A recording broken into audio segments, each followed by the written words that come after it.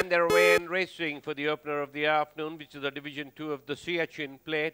Quite a fair start this is by all the runners. Uh, Fly Away With Me is at the back of the field. Royal Ace is the leader at the past of 1000 from Rare Silver, Bohemian Tube at the inside, very close and behind is Sky Surfer in the center, being tracked there by Wabi Sabi making headway wide of the track in the red and blue is Fireball. After that is uh, Sir Percy Blakeney is in the mid pack. Then there's Poco Azul, Ridgewood Star, far away is Fly Away With Me.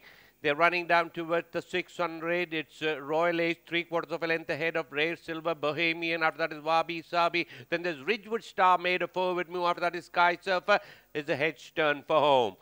Royal Ace comes in on first, a length and a half in front of Rare Silver is galloping up on the outside. Wabi Sabi is in third, Bohemian rallying on the far side. Then there's Ridgewood Star making a forward move in between horses, but it is Royal Ace still about half in front of Ridgewood Star is galloping strongly on the far side. Then there's Rare Silver, but it is Ridgewood Star has gone to the front, a length and a half to two lengths in front of Royal Ace, Rare Silver, and Wabi Sabi, but Ridgewood Star gets it from Rare Silver. Then there's Royal Ace with the money. Then there is a Poco Azul, Wabi Sabi. Then there's Bohemian Fireball, Sky Surfer, Sir Percy Blakeney. Last of all is Fly Away With Me.